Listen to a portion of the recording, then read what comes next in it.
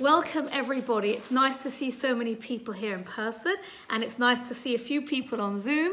Um, I hope I won't miss anybody. Please, by all means, if you want to say anything, say anything, contribute. It's not just me, it's all of us together. The title of my talk today is To Tree or Not to Tree. Flowers and greenery on Shavuos. Where does it come from? What are the, what are the thoughts and feelings of um, the rabbis? What do they think about it? And where, where are the roots? Where do we find, um, yeah, there's going to be a few of those. Look out for them. Okay, first of all, thank you to Rabbi Lawrence and all the team at Kinloss. I'd like to dedicate the learning today to Ilu Nishmas, my mother-in-law, Bruria Bas Shlomo, who passed away on Hanukkah, and she absolutely loved flowers and always took the time to appreciate Hashem expressing himself in the world and saw the beauty of the flowers and the trees. And even now, my kids walk past, you know, the beautiful autumn leaves and they say, oh, Bobby would love this. So um, difficult for all of us.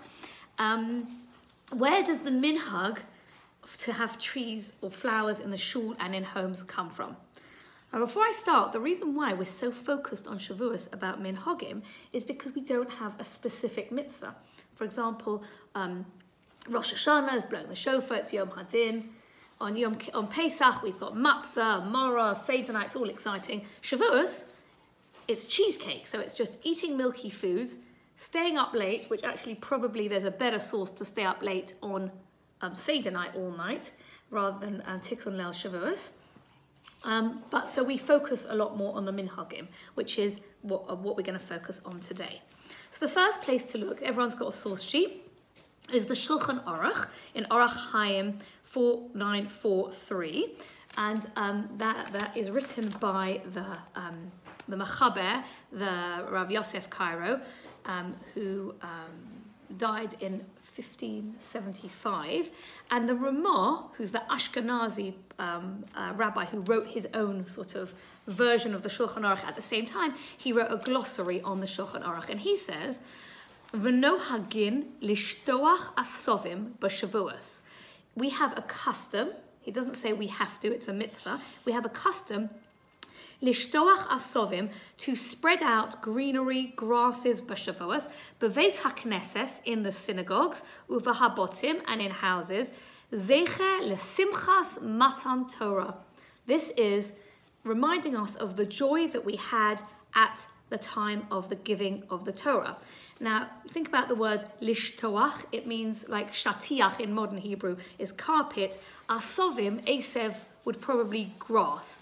We're not entirely sure what he what he's referring to. He doesn't say prochim, flowers. He says asovim, greenery.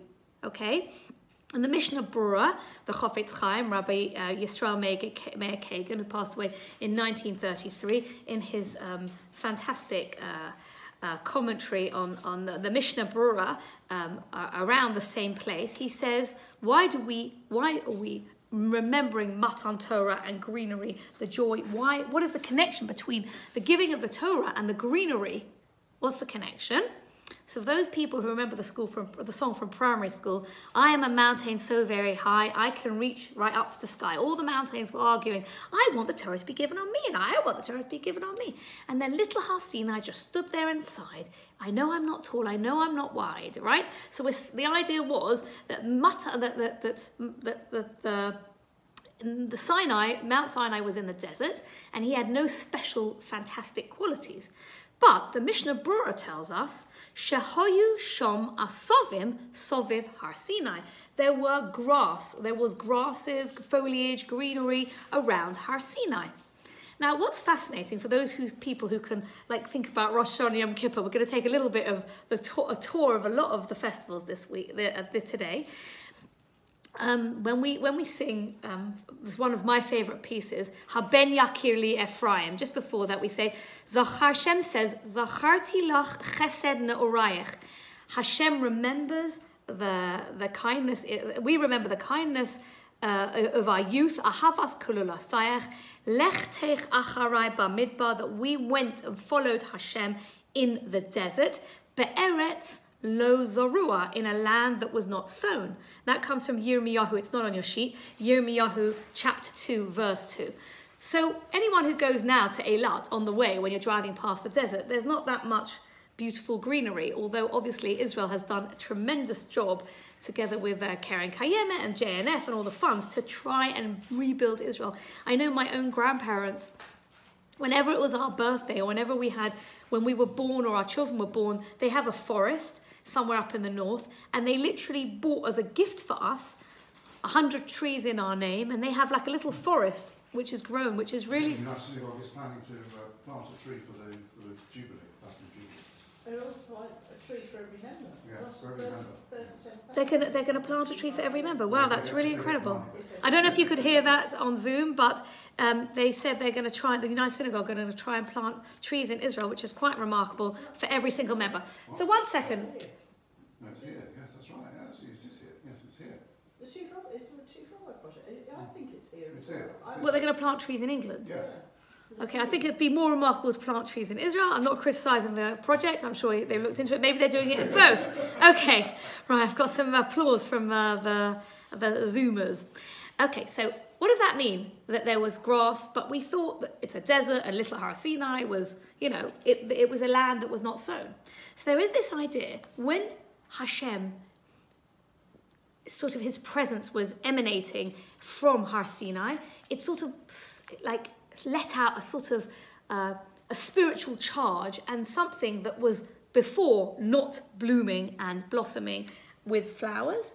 There is this idea that, according to the Mishnah Berurah, there were grasses in a place where we wouldn't expect there to be grasses, almost like, I don't know, we, we, we say, let's say, Roim es hakolos, they they heard the they they saw the thunder the the sounds. It was almost very supernatural. There was some sort of supernatural goings on. And there is an idea that every single person who stood at Har Sinai everybody saw and everybody heard which meant that everybody was cured of their physical ailments because everybody was able to come to Har Sinai. So this is quite fascinating for me is that in a place where we say we're going to remember Matan Torah and the Mishnah Berurah says because there was green grass there but yet we think that we're in a desert and there's no grass there but clearly, there was some sort of miraculous, something took place there. Part of the spirituality, the, the, the, man, the manifestation of Hashem's presence, the Shekhinah, made there to be grass. And because of that, we think about it. We're remembering Shavuos, the time that we got with Zman Matan Torah and we're remembering the miracles that took place at Har Sinai. So that is um, that is one uh, idea, and I want to back up that there was grass in Har Sinai, even though if we go to the place where we think Har Sinai might be, um, except for the wonderful irrigation that uh, Israel has put up, if we see in source 3 in Shemos, Perek Lamed Dalet Gimel, the people were, Moshe was told, V'ish lo ya'ele imoch. Nobody should come up the mountain with you. V'gam ish al yera b'chol haha gam hatzon v'habaka al yiru el mul haha hahu. No one else was allowed to come up the mountain with Moshe. No one else should be anywhere on the mountain. Neither shall the flocks and herds graze at the foot of this mountain. So why did Hashem tell Moshe that? Because there must have been grass because he's not going to say don't graze on this table. There's no grass on this table. So i think that's quite fascinating that there's actually in the torah we understand there was foliage on har sinai in a place that was a desert that we are told bamidbar be'eretz lo zarua. And it, it wasn't uh, it wasn't a place that had greenery and grass. So that's my first suggestion about why we have it because we're remembering matan torah and the miraculous nature of the fact that there was a spiritual infusion and that had some sort of physical manifestation as well and there was grass on Har Sinai which we're remembering the wonders that were done for us at the Mount at Mount Sinai when the Torah was given. So that's my first suggestion and um, my first point. The second one um, look at source 4 on your sheet this comes. This is quoted by the Medrash Talpios, who's Rabbi Eliyahu Kohen, HaKohen of Izmir, who died in 1729 in Izmir, Turkey, and um, and he refers us to the Gemara in Shabbos, which is source four on your sheet, Peches base, um, and he says sorry, Peches Omud base, Kol Dibor v'Dibor sheyotza mipi HaKodesh Baruch Hu, with every utterance that Hashem said from his mouth, Nismale kol ha'olam kulo besomim. The entire world was filled with fragrant spices. And the Medrash Talpios tells us that flowers give an aroma. Now, smell has some sort of a very interesting quality. We, we smell the basomim on Motzei Shabbos, and we're told that when we smell the basomim on Shabbos, when Shabbos leaves and the radiance of Shabbos leaves us, we might feel like weak or faint. So we smell the basomim to sort of wake us up from this like lack of spiritual, a withdrawal of spirituality. But when the Torah was given in Har Sinai, the, the, the Gemara tells us that we had fragrant spices with every sentence that came out of Hashem's words.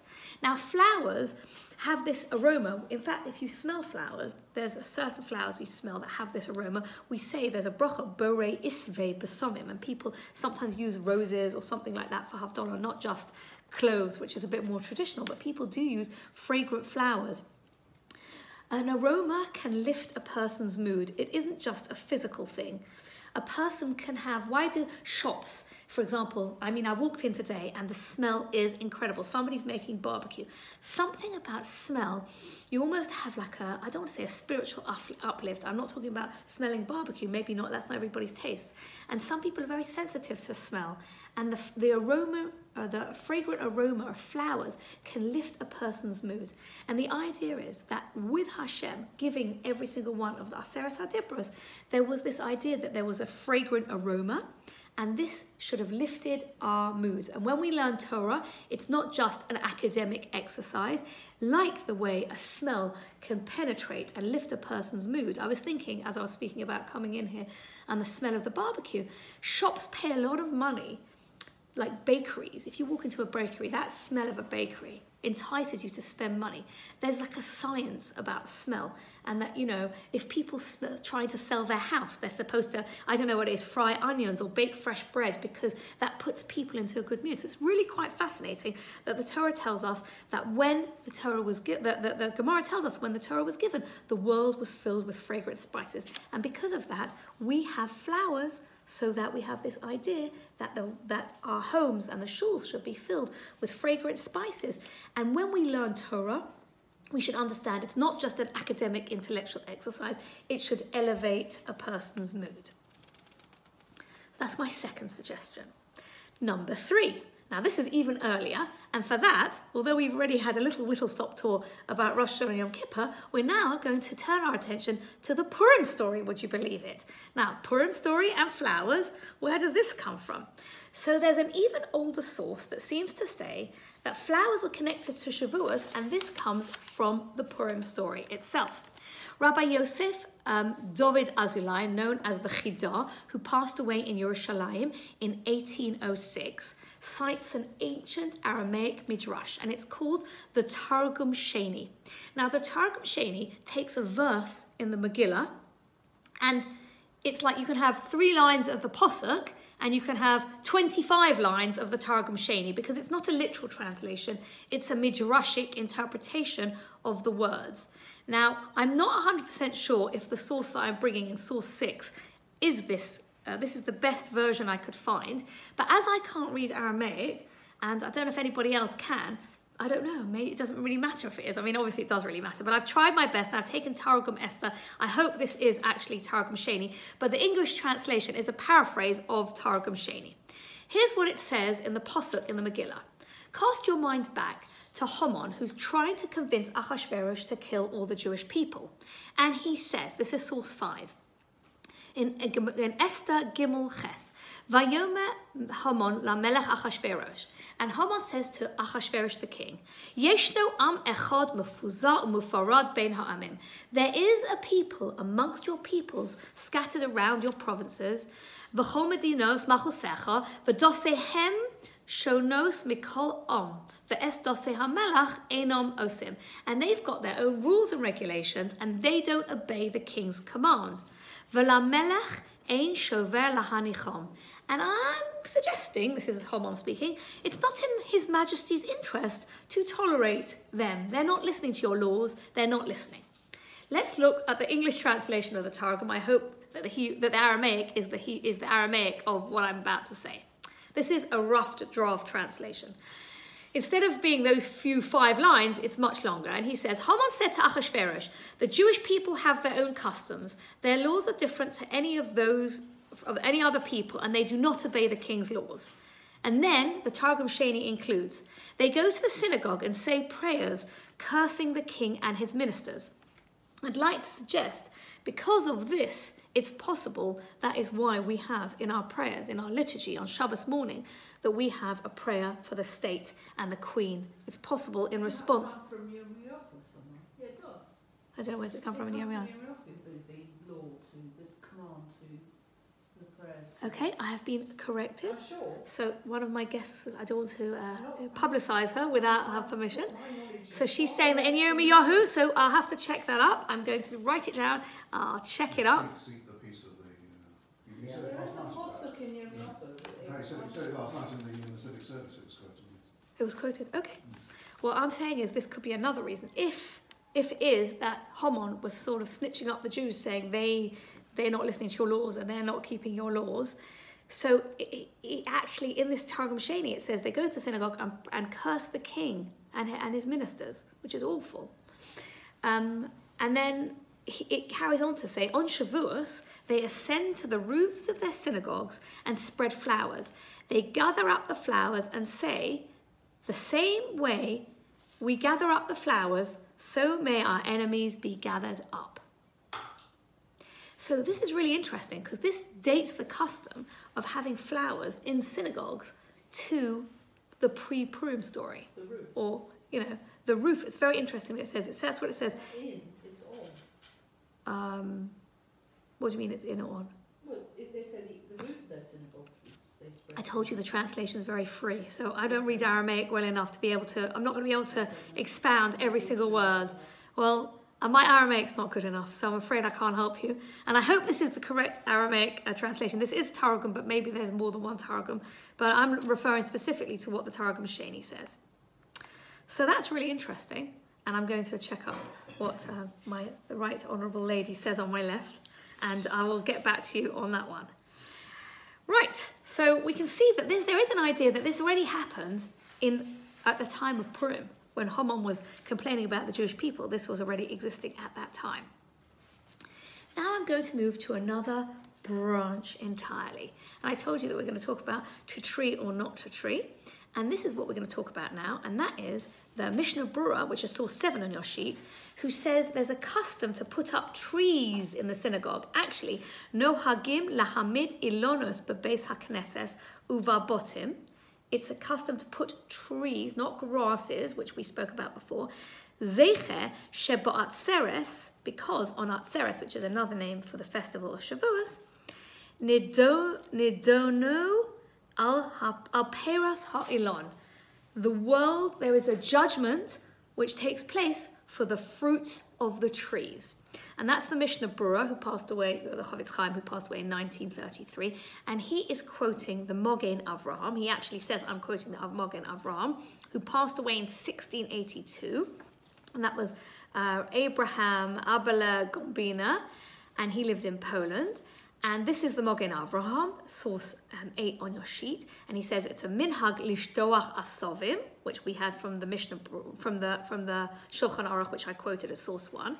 And he says, no hagim lahamid ilonos babote knesios babotim. It's a custom to put up trees um, uh, because it's sheyaskiru shebat seres nidonin al peros ha'ilon, that we are judged about the fruits of the tree, vayispalalu alehem, and we pray for them. Okay, that's source 8 on your sheet. Now, where does the Mogen Avraham get that? I'd like to suggest it's from the Mishnah in Rosh Hashanah, which is source 9 on your sheet, 1 2. The Mishnah in Rosh Hashanah tells us, Ba'arba parokim ha'olam nidon. There are four times of the year the world is judged. I had to keep it in because it's like, it comes before Shavuos. On Pesach al ha'tavua, on the produce, we're judged on Pesach. Ba'atzeres, which is another name for Shavuos, al peros ha'ilon that the fruit growing the tree is is judged on Shavuos. So that is why some people have the minhag to put trees, actual trees, in their shuls and in their homes on Shavuos. But, wait for my next pun, there is tremendous opposition to that, okay? And that is the Vilna Gaon. And the Mishnah Brura tells us in source 10, Vahagra bitel minhag zeh. And the Vilna Gaon, who passed away in 1797, he, he, he abolished, I'd say bitel, he, he cancelled the minhag, but it doesn't say he made it osa, he said, it says bitel. So I'm just saying some people might have that minhag, but the Vilna Gaon was vehemently opposed to that. He, he was opposed to that. Why? Mishum she'achshav hu chok ha'amim laha'amid ilonos b'chag shelahem. Because the Vilna Gaon said there is a ritual for the non-Jewish nations to put up trees on their holidays. So we can all assume that he's talking about, I don't know when it started, any decorations of trees, but specifically in our lives, that people who celebrate Christmas and then they have a Christmas tree. So then he's like, hold on a minute, if they're going to use trees at their festival, we are not going to because it would come under the prohibition of chukas hagoy. We should not do things like the nations of the world. We shouldn't dress like them. We shouldn't um, do. We shouldn't go to their activities. Perhaps like you know, if they had like things going on in the Colosseum, perhaps we shouldn't have gone to things like that. Even if there were shows of animals and things like that, we shouldn't do things and um, um, like the nations of the world. And this specific prohibition comes from source 11, Vayikra Yud Ches Gimel. Kamase Eretz Mitzrayim Asher Yeshavtem Ba Lo. Do not copy the practices of the land of Egypt where you dwelt. O Kamase Eretz Canaan Asher Ani Mevi Eschem Shama and I brought you to the land of Canaan, but for, for like those people who live in Canaan, lo sa'asu, don't do what they do, uva chukosechem lo seilechu. So that's how we generally refer to this, chukas hagoy. We should not follow the ways of the nations of the world. Um, so the, the Vilna Gaon said, right, trees have now become a symbol of the Christian festival, therefore we're not going to include that. Which is quite interesting because if it was an older custom to have trees or grass or greenery. Maybe specifically trees is what the Vilna Gaon was not happy about. There is a specific command about, uh, in, in Devorim, um, uh, Zayin Kaf Aleph, about not having an Asherah tree, which uh, an Asherah is perhaps known as, you could translate it as a sacred post, but basically it means where people used to have some sort of idolatry, idolatry, got it? Um, where they would serve a tree. So if you look at the source 12, Lo sita lecha asherah, kol eitz eitzel misbech Hashem. You shall not set up a sacred post, an asherah, I suppose, tree, a pole of any kind, besides the altar of Hashem. Um, misbech Hashem lekecha asher sa'aselach. That you should not, if you make an altar, do not set it up by a tree where people are going to worship by the tree. And the Ramban Nachmanides says um, on that posuk, he says, Ba'avor, source 13, Ba'avor shehu minhag ovde avoda zara, because it is the custom of those people who serve idols, who are idol worshippers, litos ilanos bepische bote avoda zara shalahem.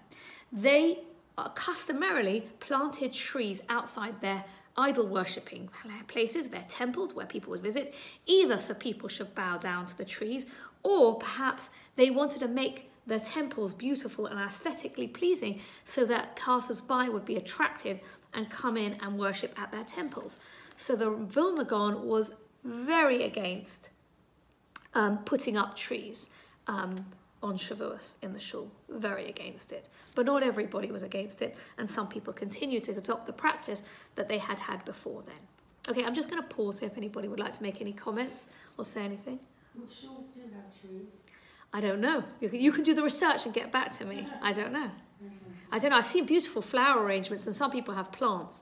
But plants are also problematic because of muksa and shabbos and moving them and opening and closing curtains. So I don't know. Some people just have cut flowers. So I don't know. We could do a research project and get back to me for next time, please God. Yeah? The poles would be a maypole, perhaps. Perhaps. That would be, because that goes back to pagan times, Right. Or maybe whatever, let's say a pole, uh, uh, like I don't know what pole, I don't know how to trade because it says lotis halacha ashera, you should not set up an ashera, but maybe it could also refer to a stone column, but that would probably be called matzeva, I don't know. But it means anything that people would have and they would have it and then worship whatever it was, uh, a Staying maypole. off the subject, but Cook has said, boy, a lot of people have got dogs now. I don't know. I don't know. There's, that's another whole subject. Um, what one of the participants spoke about is chukas hagoy and having dogs.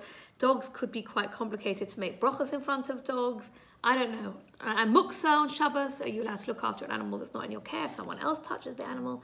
Uh, and also trapping, sod. you know, if you take a dog and put it in your house and shut the door. Is that called trapping? I know it would only be midrabanon, but I'm not sure how that would work. There's a lot of halachas. I'm not an expert in any. I'm sorry. No, you didn't interrupt me. It's every. Interesting subject to talk about once, a Um, people got dogs now from people, not in Stanford, but Golders Green and Ezra.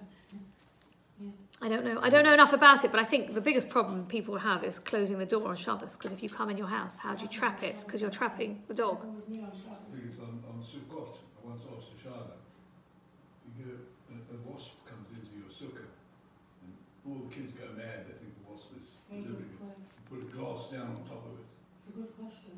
I know, but some people say that it depends on if there's a young child or if there's a danger of the sting. So then you've got a situation where you could be you, you're in danger. So if you're in danger, then it's difficult. It's a different situation. Well, it was, I was told that it's okay, I know, but also Okay. Also, that in uh, and that in, in the in the base in the beis Hamidrash and in the Mishkan, the reason why they trapped animals was to trap animals for the skins or for um, for for korbonos. So they didn't trap lions, for example. They wouldn't have trapped a wasp. It would so it would be it would be a midrabanon. But I, I don't know enough about the subject. But just interesting seeing as you mentioned dogs. I'm sorry. A dog can bite. A dog can bite, yeah. But don't forget, the dogs, we owed the dogs a bit of gratitude because when the Bnei Israel left Egypt, no dog um, uh, uh, barked, so we know he didn't wet his tongue. So they kept it very quiet. Okay, right. So let's move on to um, the next suggestion. Why we have flowers and trees? Uh, these are all like uh, all source based. Why we have flowers and trees on on Shavuos, and for that we're going to look at source 14, and this. Um, uh, quotes somebody called the Pardes Yosef, who's Rabbi Yosef Posnovsky, um, um, who passed away late 1880s. And he says, Ra'isi, source now 14, Ra'isi b'shem Hagon Rabbi Mordechai Banet. I saw in the name of a rabbi called Rabbi Mordechai Banet, who probably lived in the 1700, late 1700s, Zah- Zatzal. Um, דמכאן שהמנהג בשבועס לשטוח ענפי אילנות ועולים הגדלים עולי מים, we have a reason why we plant, we put out plants or grasses on um, on Shavuos because Bezayin Adar on the seventh of Adar nolad Moshe. So that's something we know that Moshe was born on the seventh of Adar, and we're going to look in a minute um, at Pesukim, which are going to help us understand this, and the Gemara and Sukkah to understand this. And we know that Moshe was hidden for three months. So work out the maths. His mum couldn't keep him, so he was hidden for three months. Adar doesn't work in a in a in a leap year, but Adar, Nisan, Iyar, Sivan. So if he was hidden for just a day short of three months, he would have been hidden in the bulrushes on the sixth or seventh of Sivan, which is exactly the day that we had Matan Torah. So let's just look at the Pesukim. So if you look at source 15, in Shemos base, Posuk base and Gimel, Vatah Isha Vateled Ben, and she gave birth and she had a son. Um, um, Vatera ki Tovhu, and she saw that he was good. The Medrash says that his name, maybe his name was Tov, or he had some sort of special light emanating from him, or maybe he was born with bris milah. There was something special about this baby. Vatitz penehu shlosha yerochim, and she hid him for three months. Moshe's mother hid baby Moshe. Yocheved hid Moshe for three months. V'lo yochla od hatzfino, she couldn't hide him anymore. Vatikach lo tevas goma, vatachmereha bat bachema, v'vazofes, and she took him and she put him into a wicker basket, which she covered it with bitumen and pitch. Vatosem bo es hayeled, vatosem basuf, and she put him in the suf, which are the reeds. So because baby Moshe was hidden in the reeds, and in grateful thanks to Moshe, who became the greatest Eved Hashem and was the person who went up the mountain of Sinai and came down and gave us the Torah, he was put in a basket of reeds on Shavuos. Now I have to have um, give you a little bit of intellectual honesty and say that the Gemara in Sota says Moshe was either hidden, according to some opinions, on the 21st of Nisan, which became um, 80 years later, the day that we actually um, crossed the Yam Suf, or the other opinion is that he was hidden on the 6th of Sivan. So according to the opinion that says he was hidden on the 6th of Sivan, let's look at source 16. The Gemara in Sota tells us, Omru Malachi Hashores Lifnei HaKodesh Baruch Hu. The ministering angel said to Hashem, Ribono Shel Olam, God on high, the master of the universe, Misha Osid Lekabel Torah Mehar Sinai B'Yom Zeh, the person who is destined to get the Torah and receive the Torah on behalf of the Jewish people on this day. What's the significance of on this day? B'Yom Zeh, will he be smitten? Will something bad happen to him on this day? Okay, so we're saying, according to the opinion who says he was he, he was found, he was put into the river on the 6th and 7th of Sivan, it was three months after his birth. And from this we see that Moshe was born on the 7th of Adar and he was kept by his mother until the 6th of Adar and hidden in the, in the reeds. And the reeds themselves, he was hidden, so to speak, in the suf, in the reeds.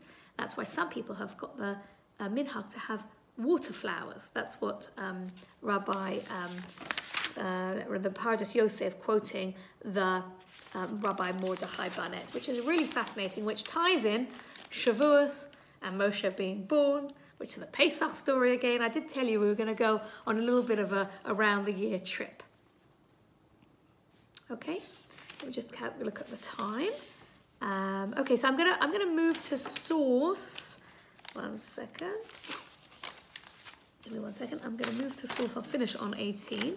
I move to source. One second. Looking for my next page. Where is it? Four, five. Must be five. Okay. So uh, let's move, move to source 21 and then we'll move back to the other ones afterwards because we've got time, thank God. Um, source 21.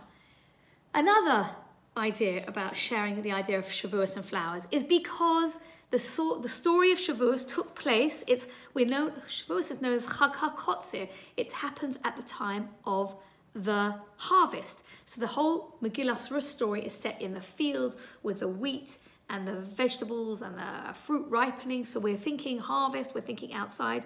Another name for Shavuos is Chag HaBikurim. So we are thinking about the Bikurim. So first of all, if you look at source 21, Shemos Lamadalet, Chag HaShavuos Ta'aseh Lecha Bikurei Ketzir Chitim, Chag HaOsif to Kufas Hashana.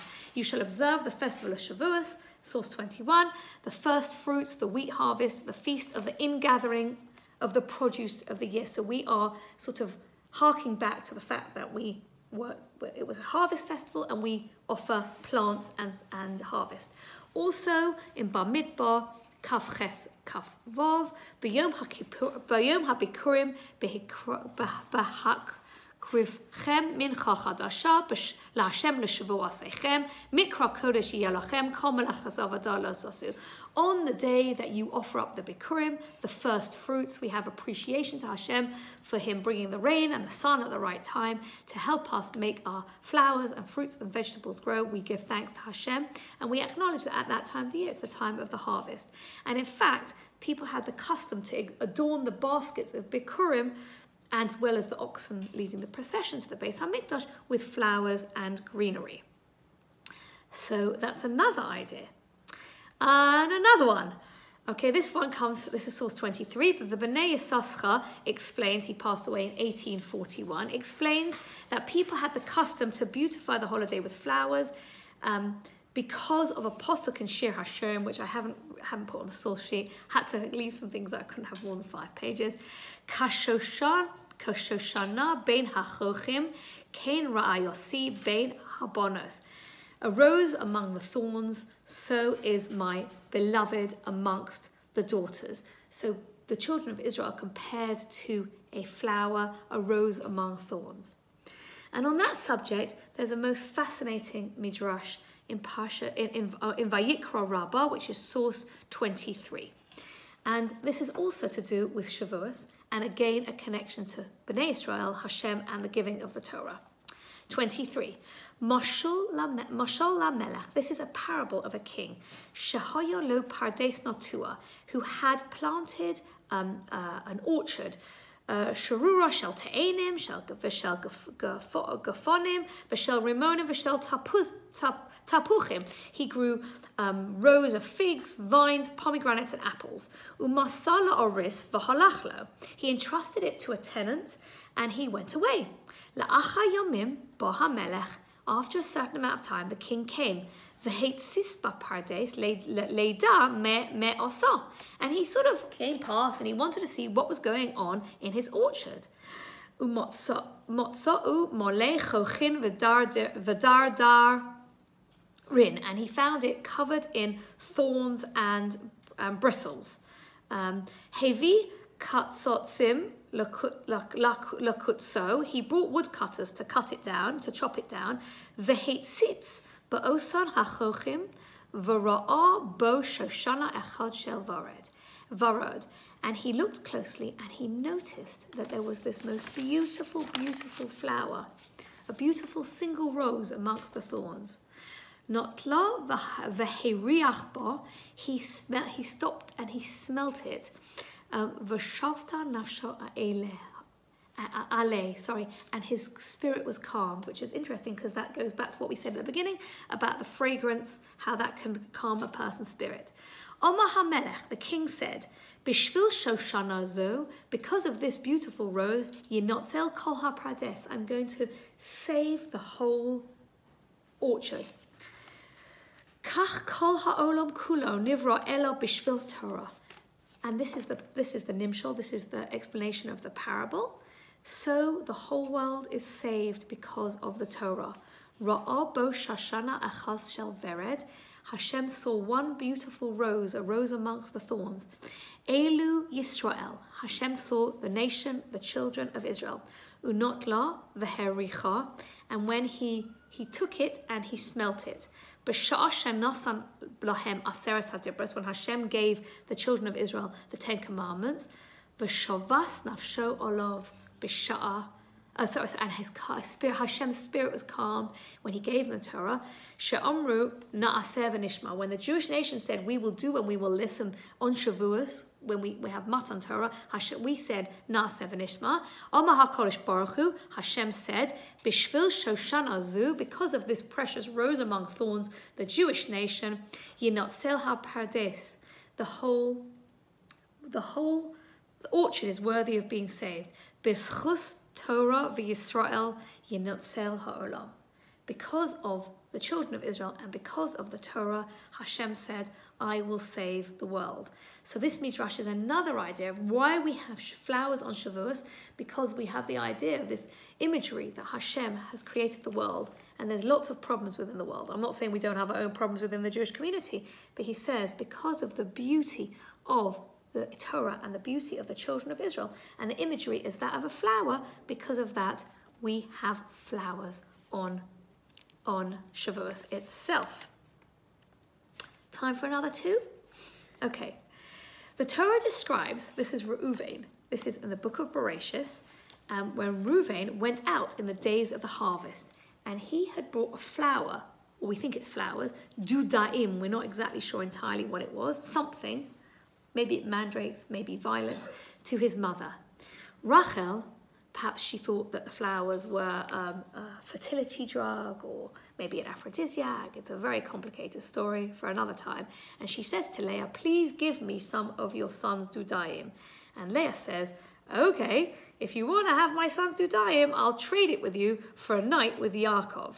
Okay, it's your turn to be with Yaakov tonight, but if you want the flowers, I will be with Yaakov tonight. And when Leah is with Yaakov that evening, she becomes pregnant, and from that pregnancy, she has her baby called Yisachar. So let's look at source 24. Vayelech Ruvain b'meket sechetim. It's the time of the harvest. Vayimotso dudoim. We don't know exactly what it was, but it's something basodeh in the field. Vayove osom. el Leah imo, vatomer Rachel el Leah, tani Tanali Midoda Benech. Please give me some of your mandrakes, violets. We'll just translate it as Dudaim. What the fascinating thing is, we can see it says Katsir Chitim, which is we know that is Shavuos time. And the Al Sheikh says this story took place on the festival of Shavuos. Now, this is very strange, and that's another whole topic on itself how something could predate Matan Torah because the Jews hadn't gone into Egypt, let alone come out of Egypt. But we're saying it was at the same time of the year, the same spiritual energy of the year. Perhaps that is why we have Shavuos at that time, why it's called Chag HaKotzir, because it is the time of the harvest. Anyway, Rabbi Moshe Alshich, who passed away in 1593, explains that well, well, let's read what he says together, source 25. And it's possible we can understand the meaning of the verse, that he, this took place at the time of the harvest, who Erev Shavuos, this took place on Erev Shavuos, She'onu Mutsuvim Chitim, because it's a time when we are commanded to bring in the harvest. So we know that um, Pesach is the time of gathering in the barley, and the time of Shavuos is gathering in the wheat, and that's why we count the Omer between the, those two festivals, and then it becomes the time of the, the wheat harvest. Shalayla hahu leil Shavuos, hu leil Matan Torah. This was the night of Shavuos, and it was the night of Matan Torah.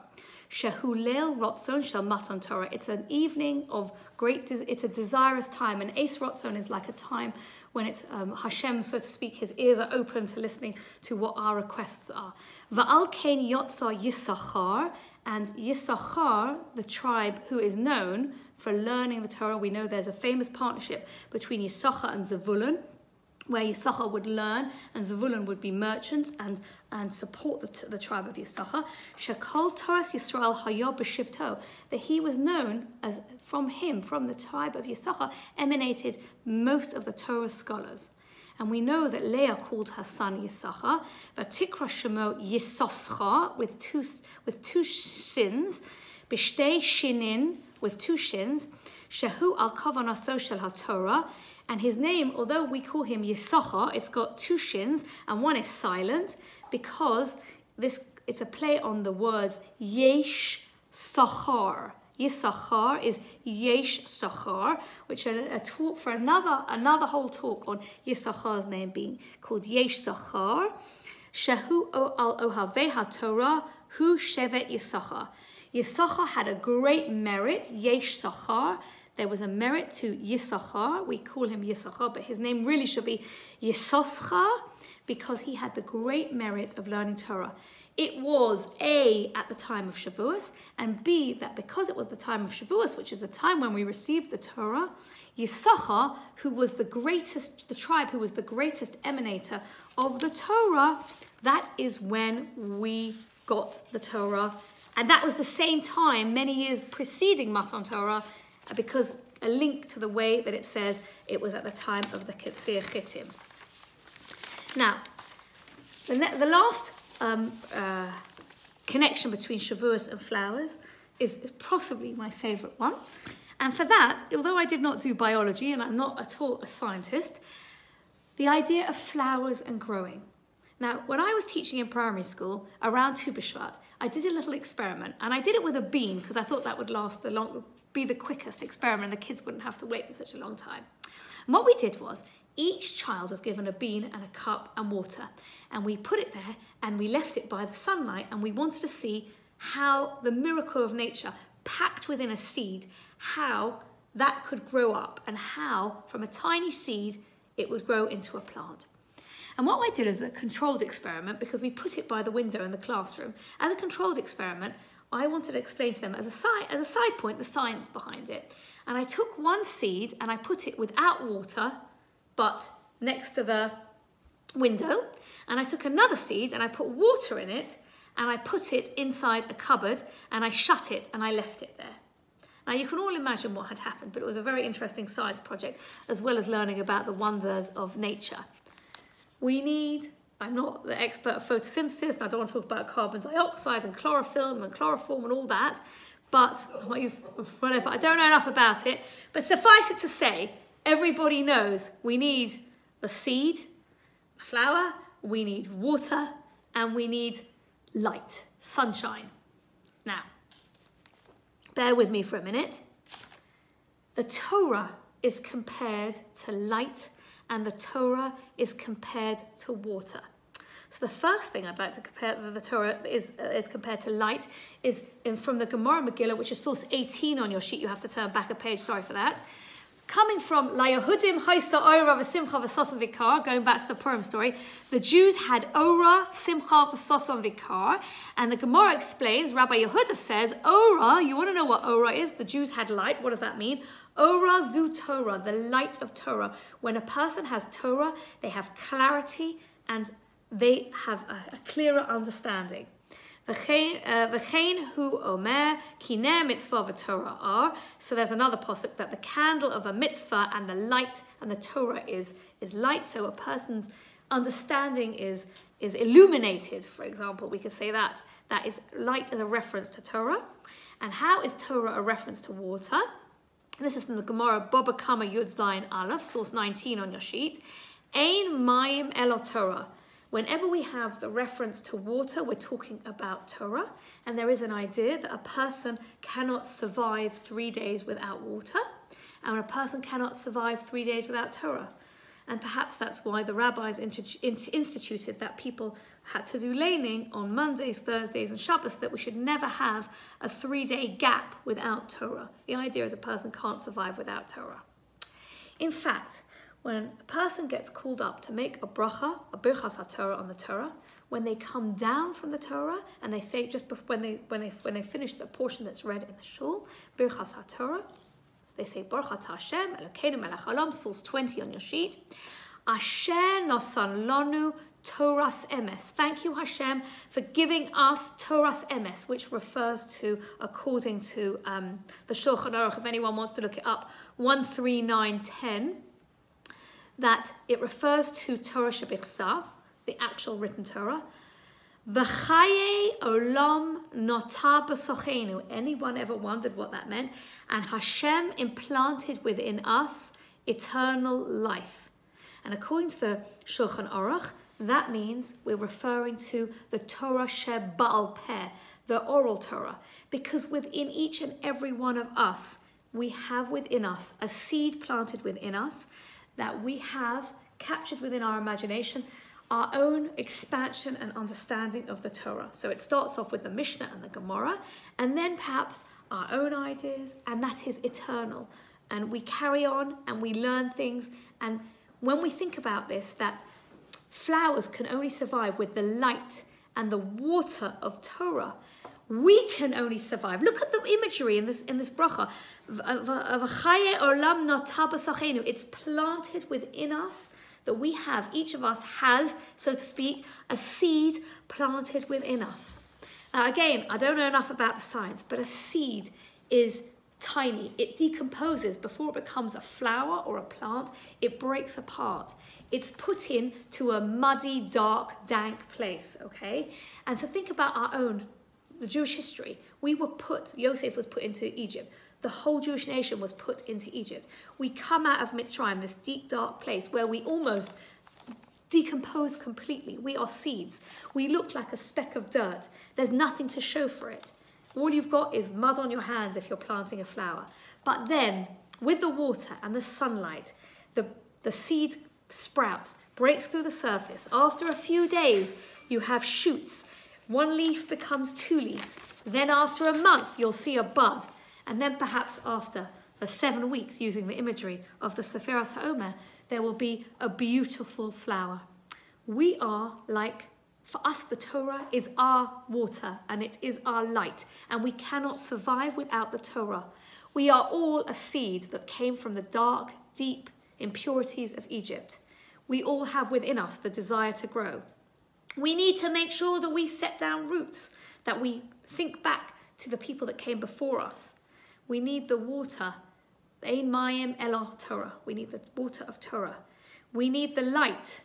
Yes, so Orazu Torah. On Shavuos, as we accept once again, we are Makabel the Torah, Zman Matan Torah Senu. even though things are difficult and around the world things are difficult, and goodness knows what's still going on in the Ukraine and our own difficulties and the latest issues that we've had and that we've always had in, in the land of Israel, we have light, beauty, and excitement. And whatever happens, we hope that we will come out at the end of Sephiroth HaOmer, emerging as our own beautiful flower. And I think there are so many poems and and here's a little picture that I got about like how the seed grows if you look at source 25 there are so many beautiful poems eh, about flowers and growing and about the beauty of flowers and I hope that um, on Shavuos this year that when you see flowers or perhaps you can let me know if you see any trees that the the source of the minhagim and the connections of let's just try and see if we can remember who can remember one of the minhagim, where it comes from? Anyone wants to be brave enough to remember something that I said today? I think I said uh, seven or eight sources. Anyone remember any? Please say someone remembers one. Shirley, don't let me down. one. One each, come on. Quickly get in there first because you can remember the first one then. Megillas Esther, we see the source of the minhag comes from the Targum Sheni, which says, Haman tells Ahasuerus, remember these people, they don't listen to your laws. Look what they used to do. They used to throw flowers down, gather them in and say, the same way we've gathered up the flowers, that's, um, we, um, we would like our enemies to be gathered up. My, my favourite is Moshe being with his mother for some length of time and then the same amount of time, then he goes, he's covered with Thank you, Barry. So, referring back to Moshe, who was put in the bulrushes, the reeds by the riverbank. Three months he was hidden. He was born on the seventh of Adar, and here we have Shavuos on the seventh of seventh of Sivan. Shirley. What sources are you actually asking for? Just No, any? no, I'm just saying, any, if you've heard of something yourself or something that I said today, we're just going to do a little review of what we said in the last few minutes. Well, I, resonates with me. The idea that the we, the Jewish people in Mitzrayim, were just like dull seeds, completely not exposed or entirely not exposed to light in any way, but just alive. Just And the alive. whole- The whole idea of this period Yetziat Mitzrayim into Shavuot was that when we once had light, that we can blossom like flowers. Once we had light, once we had, we crossed the symbolism, if you like, of the Yam Suf. There was those symbolic water given to us as a as the beginning of our freedom, crossing over the Red Sea. I don't know if everybody could hear what Shirley said. She was saying about the fact that as, as Jews, we were in the darkness as a seed almost destroyed, and we came out of the deep, dark place and we became a flower. And she said the symbolic water of crossing the water of the Yam Suf, we then um, we were. Um, we got the Torah. So remember, we spoke about the greenery on Har Sinai, that perhaps it was a desert and it was deserted, and then it, it, it came, it was there was foliage, miraculous, the fragrance of Torah, how perfume can wake us up and elevate our spirits, the, the idea that trees are judged on, on Shavuos, the, the Vilna Gaon opposed this minhag. Um, let me just have a look. Where the rest of my, I like. I don't want to go. I don't want to miss anything out. You know what I mean? Um, the idea. Yeah. I I do like that you actually referred in the Torah, I mean, different things were from the Mishnah and the Talmud, but I like that you actually referred to something I never thought about in Shemot, early on in the sources, that says that no animals were allowed to graze at the foot of the mountain, which suggests, of course, there was lots of greenery there. So people who can say, ah, you know, it's all it's all bobanisers, you know, the idea that the mountain was covered in greenery. Well, there it's not a, a commentary by some maybe fifth century rabbi. It's actually written in the Torah because you can't take animals away from grazing if they weren't already. if there was nothing to graze on. So Shirley was just saying, if people didn't hear, that there must have been greenery on, on the Har Sinai because there was something to graze on. Okay, we spoke about the idea that Shavuos is the harvest time. The story of Ruth takes place at the harvest time to do with Bikurim and the decorations with beautiful flowers. The connection to the garden where the whole world is saved because of this beautiful one rose of Israel. The Dudaim and Yisachar's birth, who became a great Torah scholar. And for me, the miracle of nature the miracle of nature that we it's a daily miracle so perhaps people don't notice it on Shavuos we see Hashem's hands every day is a miracle, but because we see it every day, we take it for granted. But when you go out and you see it's been plenty of rain, not that much sun, but maybe in the next few days we'll have a bit of sun. Um, may your spirits be uplifted by the fragrance of Torah uh, on this Shavuos, and I thank you all for joining and participating. Have a wonderful Yom Tov.